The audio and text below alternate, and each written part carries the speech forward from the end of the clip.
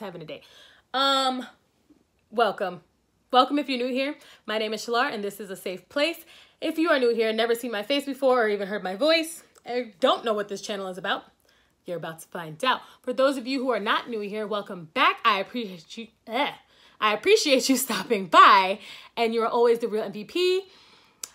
Just to get it out of the way, trying something new, hit that subscribe button, join the fam, join the support group, be a part of the squad, gang gang. Hit that notification bell so you know every time I upload and drop down in the comment section below. Let me know how you feel about this video. Let me know if you want to see more things like this. And without further ado, let's get into the video. All right, so by the title of this video, and I kind of titled it abrasively, but let's be honest, I'm fat. I can say that. Oh, my water all in the way. I got seltzer water, guys. I'm trying to be healthy.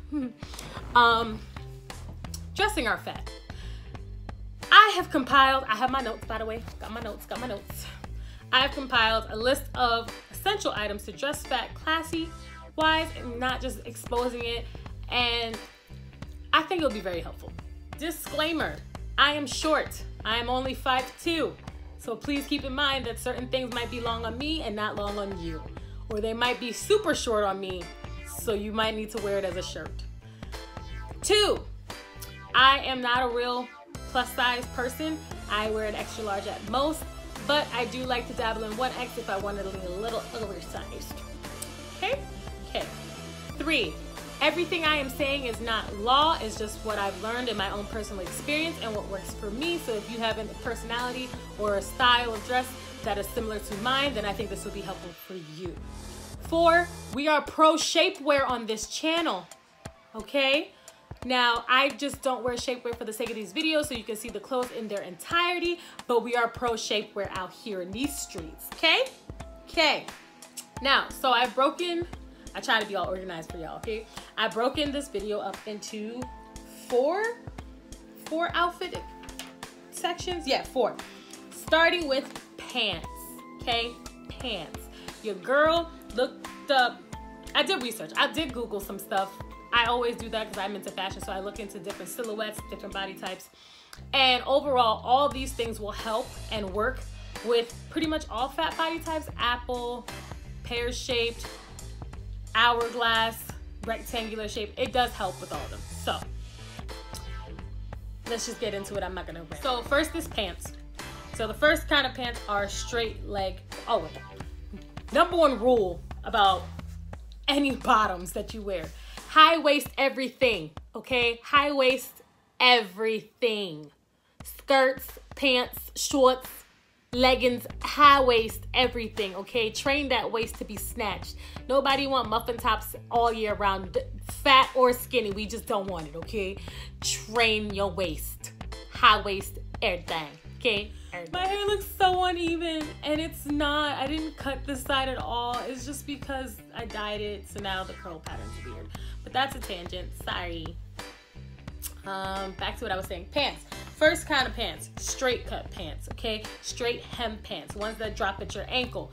You should definitely have a pair of these in your closet. Why? For numerous reasons. One, it elongates your legs. So if you're short like me, or you have shorter legs and a longer torso, and you're gonna balance it out, it stops at your ankle so it accentuates your shoes, if you have cool shoes or not. So it shows where your leg stops but since they're high waist, it shows that it goes up higher than it normally does. Um, accentuate your shoes, of course, so if you have cool shoes, that helps. And it helps you appear taller when you wear them. How does it help you appear taller? Think about it. When tall women or men wear pants that are too short for them, you it emphasizes their height. Same concept with straight legged pants, especially if they're slightly capried and a little higher than your ankle. It gives, and you wear a heel with it, it gives off the impression that they're a little too short for you, so you look taller in your pants. See, I did that. Mm -hmm. Next, wide leg pants. Wide leg pants, two things they do for you. Accentuate your waist because you know, that's the only thing that's cinched in on the pants. The pants don't hug your legs. It's just free flowing and your waist is the only thing that's actually being hugged by any sort of material on the actual pants. Ooh, anyway, I'm kind of embracing them today, all right? Also, because they're looser fitting, they don't accentuate your belly line, okay? That's the key to hide that belly line, especially if you're not feeling like you want to struggle into shapewear. There are definitely days where I don't feel like wearing shapewear. So when I wear wide leg pants, and I didn't always like wide leg pants. I thought I was too short for them, but then I realized I could just cut them. Um, they hide my belly line so I don't have to wear shapewear. I just wear good underwear and you can't see the line and they feel like pajamas. So I'm comfortable and I'm cute. Especially if you wear with a bodysuit, that makes that part of you seamless and very structured and put together. So dropping gems already. Banking on the high waist thing, the next pair of pants are paper bag pants, paper bag waist pants. These pants I think are very underrated. People don't really use these pants. They don't utilize them to the best of their ability. Okay, one quote we got on this channel utilize your resources okay? If you get high if you get high waist pants but then you make them paper bag waist pants which makes the waist even higher it goes above your waist you give off the illusion of where your waist is and where it actually isn't. You can move it around especially if you're taller or shorter depending on how high the paper bag is the ruffling will give you an illusion of a higher waist, a lower waist, a thinner waist, because they usually come with a belt, and the belt you tie in a bow and it falls over your pouch. That kangaroo pouch you be trying to hide, you can hide under that belt and all the ruffles and stuff. Okay? Again, gems. Dropping gems. Jeans. Jeans are the next one. There are two types of jeans that I think we need to pay attention to. One is the boyfriend jean. The boyfriend jean gives you a slightly looser leg so it doesn't cling to everything. So you give off the illusion that you're slightly thinner in your leg area, especially if you don't like your thighs. And then skinny jeans. Skinny jeans give off the appearance of you being taller because they suck onto, especially high waist skinny jeans. So since they suck onto everything, everyone's focused into that streamline of what's going on. So your waist is really high up. It gives you the appearance of longer legs. And then if you pair them with heels, you just look taller with long legs. Almost statuesque like. I'm just saying. Y'all should be charged. I should be charging for this. Charging. Do we have any questions so far about pants? Questions, comments, concerns? Are you following along? You're still here? Good, because the next section is skirts. Okay. First skirt we got is a midi skirt. Okay, the midi length skirt is the skirt that drops like your shin just past your calf, not all the way down wonderful. It is a great addition to have. I'm gonna tell you. I'm gonna tell you why. I'm gonna tell you why. You can have two different types of midi skirts. You can have a free flowing midi skirt. I have a pleated one. It's really easy walk going, and you don't have to worry about shapewear because it's long. It, it's loose. It doesn't cling to you. The second kind is the pencil skirt. The traditional pencil skirt, you know, that everyone should have, especially if you work in an office. It gives off curvage, okay? Even if you are not curvy and you are a rectangle shape, you wear a midi pencil skirt and it will give you the illusion of larger hips and a smaller waist will give you the illusion of an hourglass body shape and you're gonna be killing okay? Okay. Especially with a good pair of pumps. Just saying. The next skirt is A-line skirt. And you're probably like, what is an A-line skirt? A-line skirt actually just kind of looks like a triangle shape without the bottom. Literally an A. So where it cinches in your waist, but then it comes out around your hips. Usually skater skirts fit cinch your waist and then fan out, so like that. Um, really good for emphasizing your waist. Really good for making your legs look longer because it is a shorter skirt usually. And if you get pleats, covers you nicely. And the skirt that I'm wearing in this video is a 1X, so it's big on the waist. But I like pin the waist so it really fits me and it looks great and it comes down a little longer over my butt. They usually do if they're pleated and then they're plus size, okay? I'm gonna be covered and not naked out here in these streets. Um, next is our mini skirt. The mini skirt though, I'm not just any mini skirt. Don't just be buying mini skirts out here, okay? Preferably structured mini skirts. Ones that don't have that much stretch and that are pretty true to size. One, they hold you in so you look a little bit more tucked and then once you put a shaper underneath it, girl, look at, look at snatched, snatched for the gods. That's all I'm saying. But if you do get like a cloth one, get one with a thicker cloth that snaps back a little bit more and still hugs you in. Don't get one of them loose, thin. You hold it up, you can see your neighbor house through it. Don't do that. Don't do that. That's just sad and shady. Just so you guys know, the point of this video is not to hide your fat, but to make your fat look sexy on to my favorite thing in the world dresses. Dresses. Okay, so I have my notes and I have like three types of dresses written in the book. That's why I keep looking down. But there's two other dresses that I included because I thought about them as I was doing this. So, excuse me. First dress, the fit and flare dress, where it usually hugs me. I'm busty, so if you got big boobs like sis over here, it hugs your boobs and then it fans out. Okay. If you don't have boobs, it hugs like the top part of your torso and then fans out by your hips. Um, there are different types of fit and flare. There's the milkmaid one that comes that literally cuts off right here and then flares out like a baby doll kind of dress. But those are all fit and flare dresses because they cinch and then they flare out. Those are really good for hiding belly fat. Next is the oh so essential bodycon dress. Okay, so the bodycon dress is tricky because they come in so many different types of ways. Now, if you're gonna wear a bodycon dress, preferably pay a little extra, get one with a little thicker material. The one that I have on in this video is a slightly thicker material, but I didn't pay that much for it. I got on Amazon. And once I put on shapewear, it looks fine. But also, again, I'm not a 1X. I'm smaller than a 1X. So anything, anyone who's 1X and larger, opt for a more expensive one with thicker material. And I'm gonna get to that next. That's gonna segue into the next dress. But bodycon dresses, try to get ones that have sleeves, either a cap sleeve, a short sleeve, maybe a long sleeve. I like long sleeve ones, but with a sleeve that comes up over your back, okay? Hide them back rolls, okay? Tuck them in. It's not a problem. Just make them look neat and tidy, and that's what people want to see clean cut. I've come to realize that a lot of people don't think fat is attractive unless it's packaged right. Now, if you're not packaged right, and I actually kind of learned part of this from my mom, but if you're not packaged right, that's when people feel like they have the right to be rude and disrespectful to you because they assume that you don't care about yourself. I'm here to help you package it right so people can sit there and double take and reconsider with the things that they thought they were going to say to you. And if they do feel like saying something to you, you have the confidence to answer them back and be like, okay, and your mama. Sorry, that got a little personal, but you know what I mean. Moving on to the next. The next dress is the midi dress, okay? The midi dress, again, like the midi skirt, comes down about your shins, around your calves. This particular one I have on is a midi dress, but I have a butt and I have boobs, so it rises a little bit because it is an extra large, so there's room in it. If I had no boobs, it would come down longer. Especially if I had no butt, it would come down longer. But it stops like just all my knees or just a little bit below my knee. But those dresses, this one's a more casual one for like an everyday. Like I would wear this one to work. But if you wanted more of a classier one that you could wear to a function, those usually give off straight elegance. They make you look bougie. You look like the boss. You look like you walked in and said, hey, where my drink at, sir? Where's the waiter? Excuse me, you're not the waiter. Snap for the keys, valet, please. Okay, that's what those dresses give off. Um, Again, with midi dresses, opt for ones with sleeves or thick straps that come up over your back and tuck in those rolls and make everything look clean cut and seamless, especially if you're wearing shapewear, but you're not wearing full body shapewear. You wanna keep it together and clean and tucked and nice and neat as much as possible.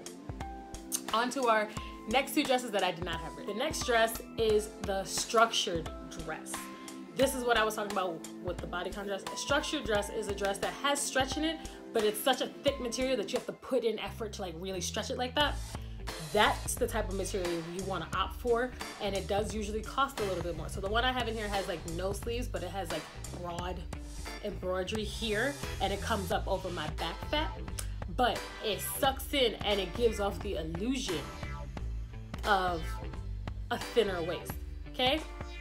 Um, before, this gives off the illusion, but if you're gonna wear bodycon dresses also, because I forgot to add this for that one, try and find bodycon dresses that have like illusion prints and lines on them, like the one that I have on.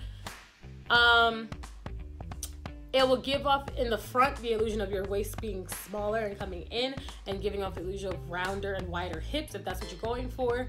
Um, and it keep it gives you more of an hourglass shape or more of a pear shape if you are just smaller up top in general um, illusion, threading and stuff is crucial. The last dress we're gonna talk about is your trendy dress. The trendy dress, I think a lot of bigger women are scared to wear, and I get why they're scared to wear it.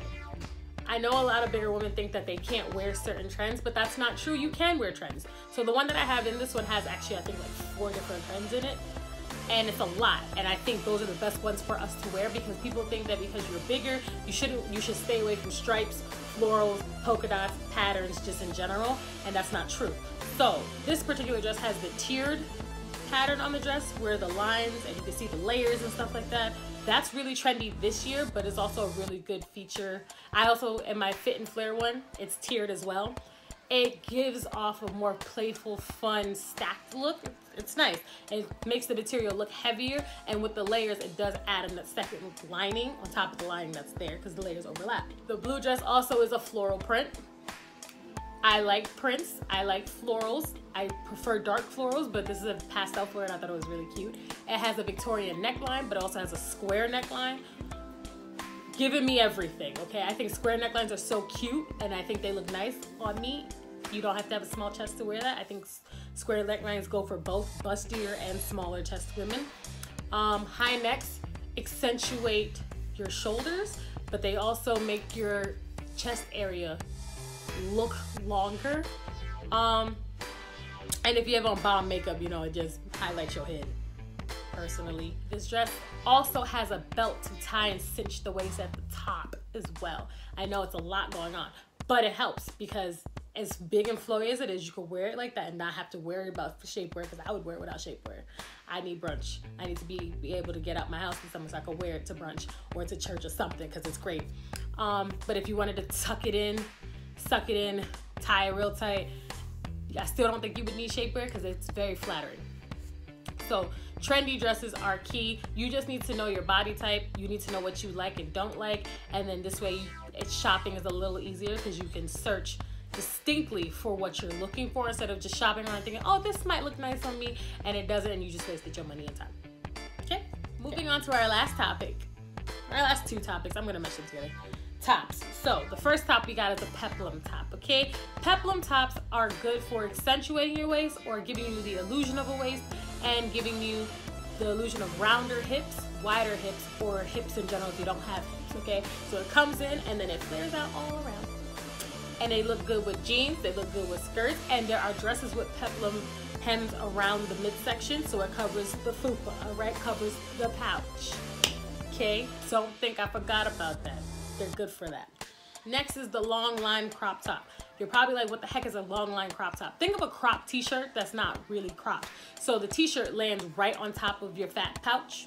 Me, my kangaroo pouch, it lands right on top of it. That's the best area because when you wear leggings or jeans, it stops right there. So it's not breaking it up, which gives people a place to zero in. It just stops and starts seamlessly. It just lays right there. It's not, and it's not clinging so no one's looking at it. Mind you, when you wear bigger t-shirts, I know a lot of bigger women think that wearing oversized t-shirts helps hide the fat.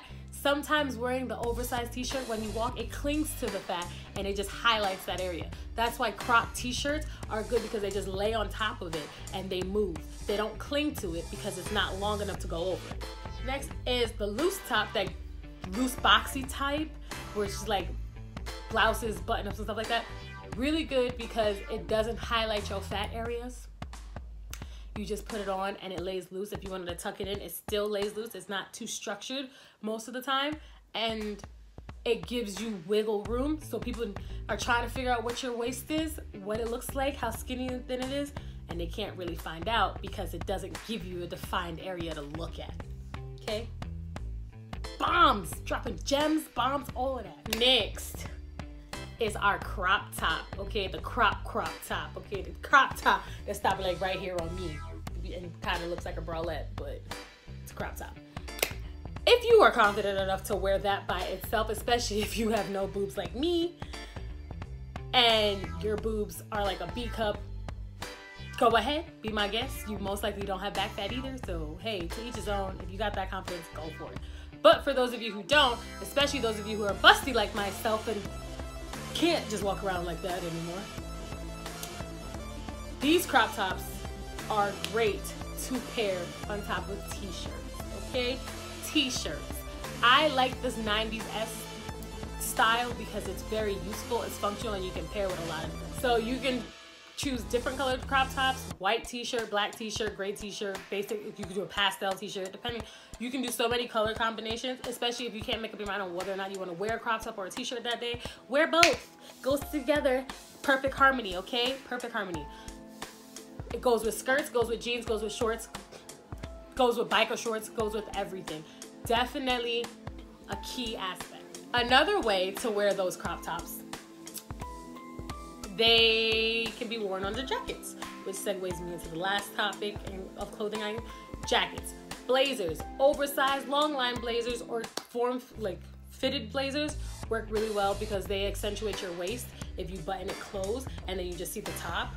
Um, if not, if it's oversized and you let it loose, it still covers up the midsection area and it doesn't cling to it. So it's not the first thing that everybody looks at when they're seeing it, okay? It's just not. Um, I recommend wearing blazers and like long line jackets and stuff like that over them just because they also amp up your outfit. Next is the pattern jacket. Pattern jacket. Again, big girls being afraid to wear patterns, but if you wear it in a jacket, I know you might be scared wearing it in a dress or a shirt or shorts, but if you wear it in a jacket, you can always take it off. And if you put it on and you decide to keep the jacket on, you usually get a lot of compliments. I can tell you that right now. And if you start going for snake prints and cheetah prints and alligator print jackets, they stand out. They add texture to your outfit. They make, especially if they're more structured, they accentuate your shoulders. They accentuate your neckline. Um, they definitely fit your arms really well. I go for more looser ones just in case you have bigger arms. They have stretch. Um, and they lay nicely over jeans, slacks, shorts, skirts, very universal. The last thing is the long line blazer. I talked about this in a previous video for fall. Long line blazers are definitely a must to have in your wardrobe, but they're good to go over that bodycon dress that you might feel like is a little too short. You don't really like your legs, it'll cover that part. Or it'll lay over that really short crop top. You want to feel embraced by wearing that really short crop top, but you don't want to show off everything. Works well with that, goes well with jeans, pairs well with dresses, pairs well with slacks. It goes everything sneakers and heels go well with it and combat boots. I've done all three. I think they're cute. Um, overall, all these jacket choices, very, very good options for elevating your look and being comfortable at the same time. Now, I know that was a lot. It, it was. It was a lot. Um, I tried to run through it as fast as possible. I hope this video was informational. Informational. Informative I hope it was informative and hope it was helpful with the inserted clips. Um, honestly, all of these styles, all of these things, I didn't, I just went through my closet. I have all of these things in my closet. These are things that I genuinely wear and like I said, have worn in personal experience, things I've gotten compliments on, things that I find that fit my, that flatter and fit my body type the most. And that's why I'm telling you, I wouldn't give you information and gems that I don't use for myself, okay? I use all of these things for myself. So if you have any questions, please hit that comment section below and I'll let you know. I'll give you an answer. If you want to know where any of these things are from, hit me up in the comment section below. A lot of them I got off of Amazon. Some of them are not available anymore. So that's why I say put it in the comment section. I'm not going to put it in the description box because I don't know which is which. And to try and hunt something down that's not available anymore is just kind of pointless. It's a waste of time. I got two other videos to edit on top of this. I'm just saying. But with all of that being said, and my mouth being dry and sore from my lipstick swatch video, God. I'm gonna leave you guys with this. Clothing and fashion are objective. There are rules and baselines to everything when it comes to color theory, makeup, fashion, life. But you should learn the rules so you can break them in the best ways possible to make you feel the most comfortable and the most beautiful and confident, okay? When you put on clothes, you should not be putting on clothes just to get dressed. You should be putting on clothes that emphasize how you feel that day and make you feel even better than how you started. Clothing should definitely be something that is fun, lighthearted, and makes you feel good about who you are as a person and the effort that you put in, even if you didn't want to put in effort to begin with or you just didn't put in none at all. When you get dressed and leave your house, you should feel like the best version of yourself. And that's why I make these videos.